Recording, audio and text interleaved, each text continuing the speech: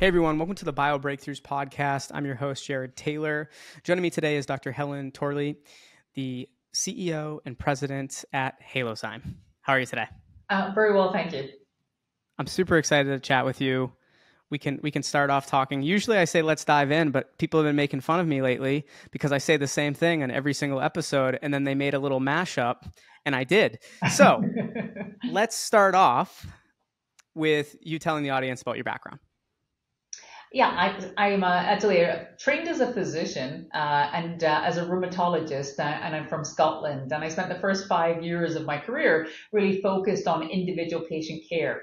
Uh, I was doing clinical trials at that time, and I then got the opportunity to move to the United States and continue development of one of the drugs I was working on for rheumatoid arthritis uh, that ultimately got approved and was an advance at that time for patients. I really liked being in the industry, being able to to develop drugs that could touch so many people. And so for the last 30 plus years, I have been in different roles in the pharmaceutical industry, uh, from drug development, where I started, to medical affairs, which is where you do clinical studies that really help physicians identify how, when, and where to use specific drugs. So that was a very exciting part of my career. Then I moved into uh, global commercialization uh, thinking about right from the start what a drug we were developing in, for example, transplantation, what it should look like, uh, what, what to tell the scientists we needed. That was a very exciting part as well. I've spent time in sales and uh, general management, uh, really building a business um, in areas like nephrology, but also in bone health, and ultimately was a chief commercial officer. And that's when I decided I wanted to become a chief executive officer and selected Halozyme. Uh, so Halozyme at the time was a, a company that had several exciting uh, data readouts, and uh, it was a it was a very fun time to come into the company to try and identify what the strategy for future growth should be, and that was in 2014. And talk us through where things are at today with the company. Give us that that overview. Yeah, today we are a company that is very focused on bringing forward disruptive solutions to uh, help uh, reduce the burden of treatment for patients and potentially improve outcomes. Now, what does that mean, reducing the burden? Um, today, many patients receive important medicines by long intravenous infusions. Uh, cancer drugs, um, drugs for multiple sclerosis, drugs for autoimmune disease. Um, what we have are two technologies that allow you to get your drugs in shorter, simpler injections under the skin. That's called subcutaneous injections. And as an example, one of our partners, Janssen, has a wonderful drug that's called um, Darzalex for patients with a cancer called multiple myeloma. Uh, many patients get that in a four to six hour long IV infusion. Uh, so that, that is very burdensome, obviously, for the patient. Um, Janssen collaborated with us to develop a subcutaneous version that is given in just three to five minutes. If you imagine you're somebody suffering for cancer, you're taking your, your loved ones to the infusion suites instead of that very long, full day um, spent there uh, in the infusion suite getting treatment, you can have a much shorter three to five minute injection. So that when you, you think about that, and we're very passionate about this, reducing the burden. Um, it's a scary time when you're uh, having these serious diseases. Anything that can be done to have you feel back to normal, be less tired because you're not spending all day in a hospital infusion suite. That's our passion, and that's what we do at Halozyme. And I want to spend some time having you dive into. Um, I might mess this up, but and ENHANZE. And, and that's right. Is that yeah. how? Did I say it right? You did. Awesome. Uh, so that's your that's your drug delivery network. Can you explain to the audience how that works? Yes, so ENHANZE is an enzyme, uh, and it's uh, an enzyme that um, targets and, and um, degrades uh, a sugar that exists all through your body, but in particular, it's part of your subcutaneous space. So, you know, if you feel your skin in your arms, there's kind of a, a, a, an elasticity to it. But underneath the skin, you've got a lot of this gel called hyaluronan.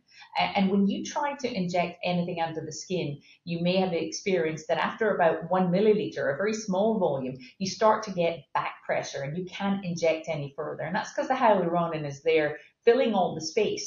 Now, what our enzyme does, what we do is co-formulate it with our partner products.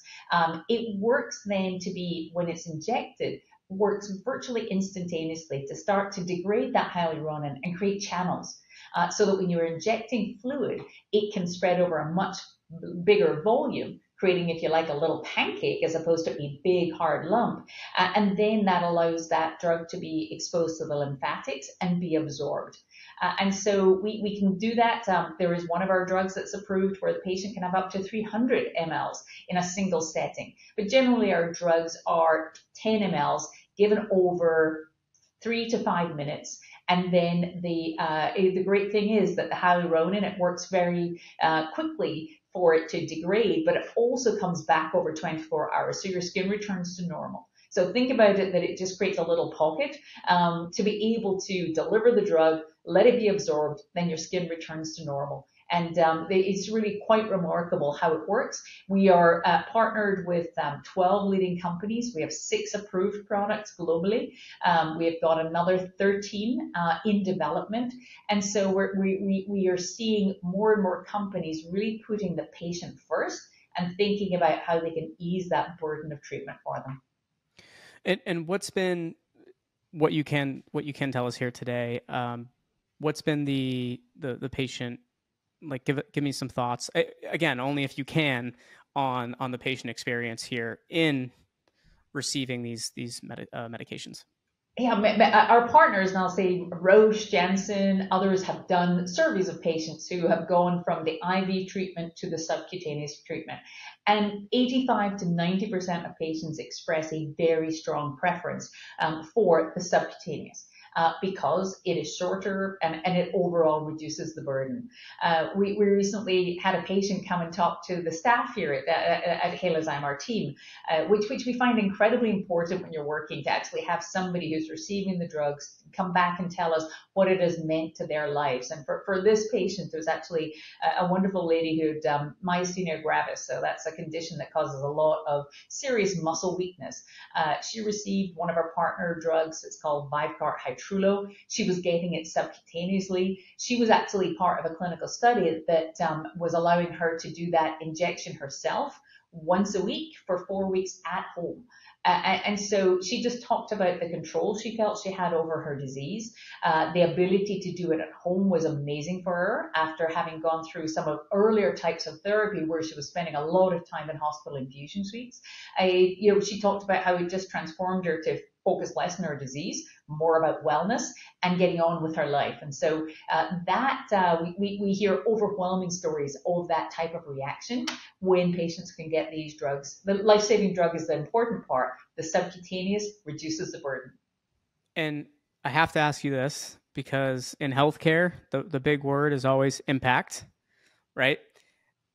With with uh, Halozyme's this breakthrough technology that that you've created, what is the impact on on just healthcare broadly, but then the healthcare systems in particular?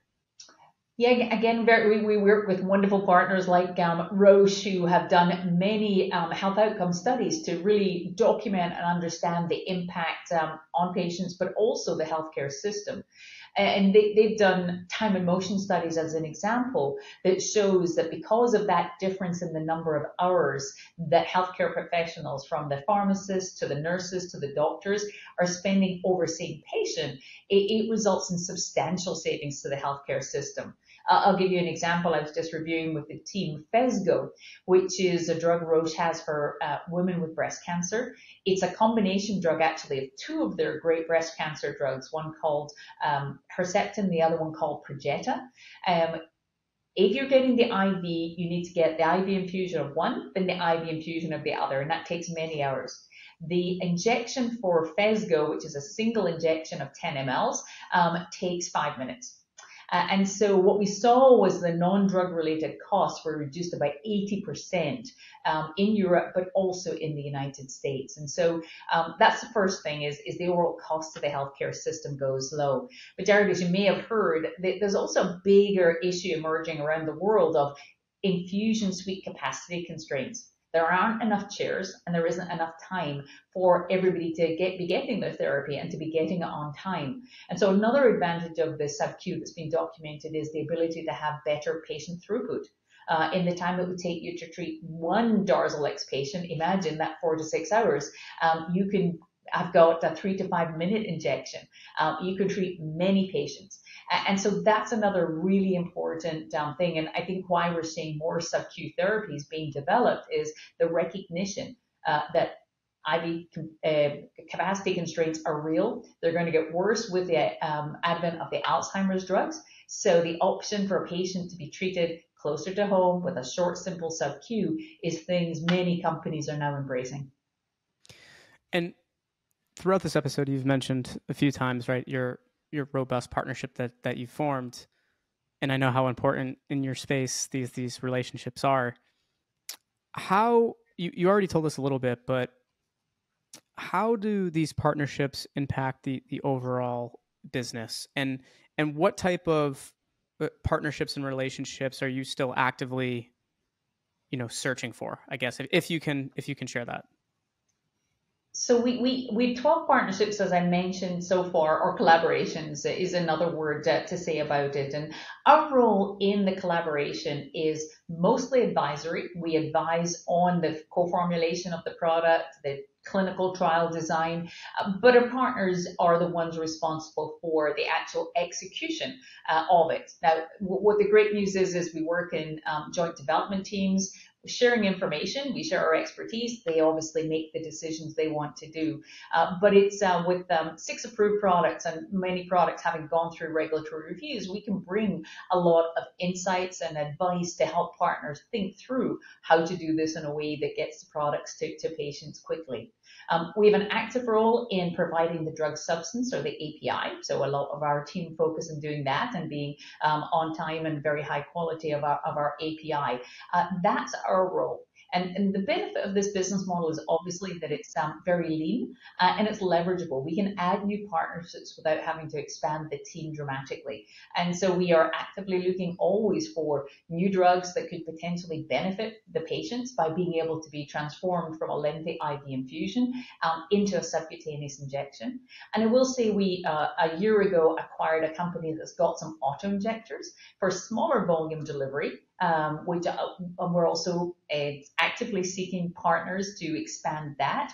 And we've got some just uh, very exciting data on uh, developing what we're calling a high volume auto injector, which would be the ability to deliver up to 10 milliliters in uh, well under a minute. Uh, and so we will grow by expanding these numbers of relationships and, and supporting these partners in getting uh, reducing the burden of treatment for patients it sounds like there's a lot to be excited about, but in terms of what's next, what are you excited about moving forward that you can share with us here today?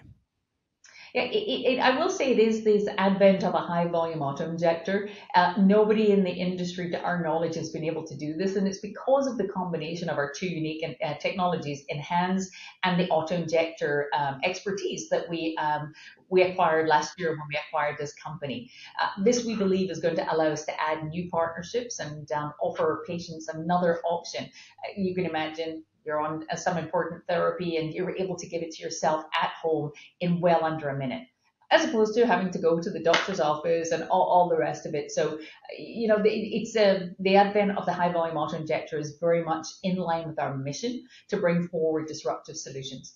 Uh, I will say, uh, as a successful business, we also are looking to add new drug delivery technologies. We think there's more can be done uh, for patients, and um, we, we, are very active in looking for additional acquisitions to broaden our offerings for our, our um, collaborators and partners. Well, I want to thank you once again for, for joining me on the Bio Breakthroughs podcast and, and sharing your story and telling us more about Halozyme. And I can't wait to have you come back on in the near future and, and give us an update on where things are at and, and talk more about the industry. Appreciate that, Darren. Thanks so much.